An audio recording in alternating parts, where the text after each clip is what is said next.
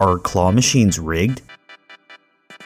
Newer claw machines, including the ones we use known as smart cranes, are designed with a settings menu on the LED panel that allows claw machine operators to adjust various settings for the machine. The settings that matter for determining if a claw machine is rigged include how hard the claw will close when grabbing a prize and how often it will grab a prize with maximum strength. You will notice when playing many different claw machines that some claw machines only clamp down on the prize with a powerful clamp one out of every X amount of plays, while every other attempt to win the prize is significantly weaker from the claw.